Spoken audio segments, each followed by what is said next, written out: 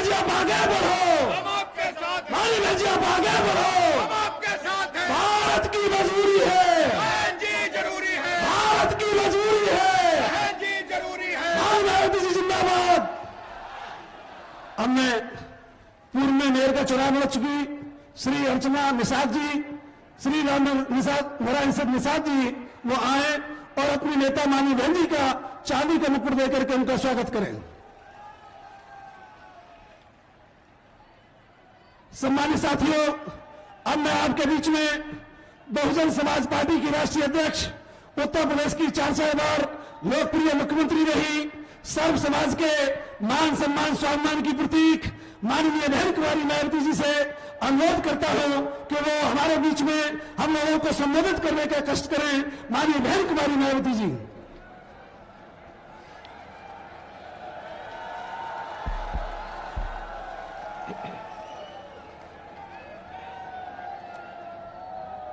BSP की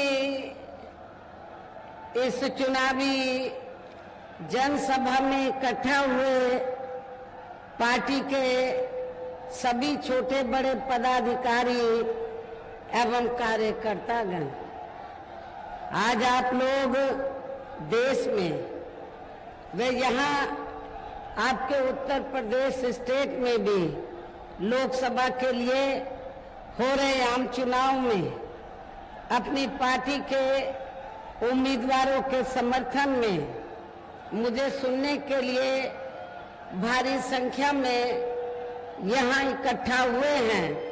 तो उसके लिए मैं आप सभी लोगों का हार्दिक दिल से आभार प्रकट करती हूँ।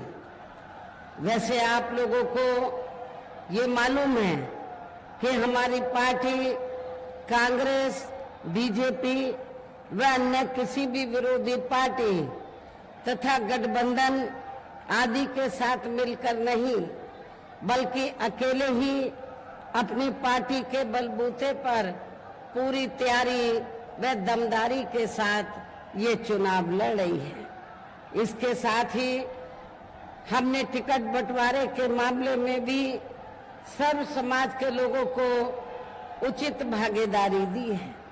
जिनको कामयाब बनाने के लिए अपनी पार्टी के लोग पूरे जी जान से लगे हैं।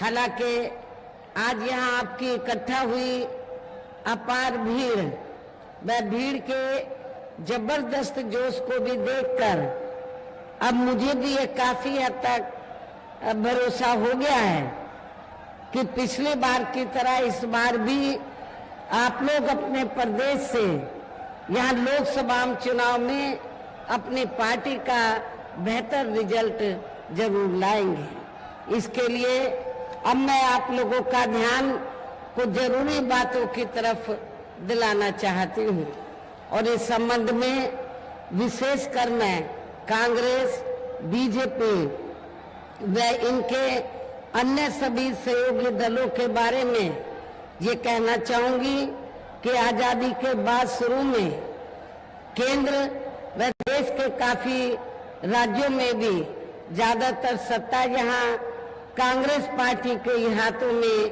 केंद्रित रही है। किंतु यानी, किंतु इनकी अधिकांश मामलों में रही गलत नीतियों एवं गलत कार्य प्रणाली आदि की वजह से ही फिर इस पार्टी को राज्यों की भी सत्ता से बाहर होना पड़ा है। तथा यही स्थिति इनकी सहयोगी पार्टियों की भी बनी रही है, जिसके कारण ही फिर पिछले कुछ वर्षों से भारतीय जनता पार्टी व इनके सहयोगी दल केंद्र एवं काफ़ी राज्यों की भी सत्ता में काबिज हो गए हैं। लेकिन इनकी भी ज़्यादातर रही जातिवादी, पूंजीवादी संकीर्ण, सांप्रदायिक व द्वेषपूर्ण नीतियों एवं कार्य प्रणाली आदि से तथा इनकी कथनी व करनी में भी काफ़ी अंतर होने की वजह से अब ऐसा लगता है कि इस बार ये पार्टी भी, यानी कि भारतीय जनता पार्टी भी केंद्र की सत्ता में आसानी से वापस आने वाली नहीं है। बशर्ते यदि ये चुनाव इस बार फ्री एंड फेयर होता है। तथा आम चर्चा के मुताबिक वोटिंग मशीनों में भी कोई गड़बड़ी आदि नहीं की जाती है।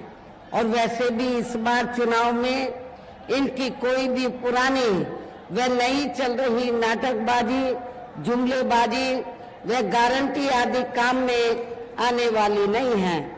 क्योंकि अब देश की जनता काफ़ी हद तक इस बात को समझ चुकी है कि इनकी पार्टी ने अब तक देश के विशेषकर गरीबों, कमज़ोर तबकों, मध्यम वर्गीय एवं अन्य मेहनत कश लोगों को, जो इन्हें अच्छे दिन दिखाने के असंख्य प्रलोभन भरे वायदे किए हैं तथा अनेकों हवा हवाई व कागज़ी गारंटी आदि विधि है तो उनका जमीनी हकीकत में अभी तक इन्होंने लगभग एक चौथाई हिस्सा कार्य भी पूरा नहीं किया है, बल्कि इसके स्थान पर इनका ज़्यादातर समय व ताकत भी या इनके अपने चहेते रहे बड़े बड़े पूंजीपतियों एवं धन्ना सेठों को ही ज़्यादा से ज़्यादा माला माल व धनवान आदि बनाने में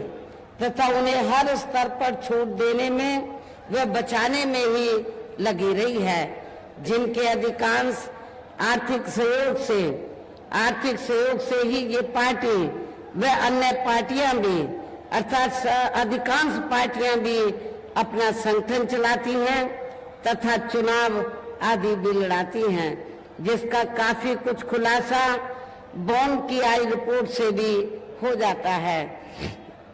इस संबंध में यहाँ मैं खास तौर से पार्टी के जो कार्यकर्ता गण हैं या समर्थक हैं, उनको ये बताना चाहती हूँ कि आप लोगों को वैसे ये मालूम है, फिर भी मैं ये कहना चाहूँगी कि बीएसपी जब से बनी है, तब से हमारी पार्टी तो अपने कार्यकर्ताओं की खून पसीने की कमाई के मेहनत के पैसे से, अपने कार्यकर्ताओं के सहयोग से या मेरे जन्मदिन के मौके पर थोड़ा थोड़ा थोड़ा आर्थिक सहयोग लेकर या मेंबरशिप के ज़रिए जो भी पैसा इकट्ठा होता है, उससे पार्टी के संगठन को चलाती है और उसी से ही चुनाव आदि भी लड़ाती है।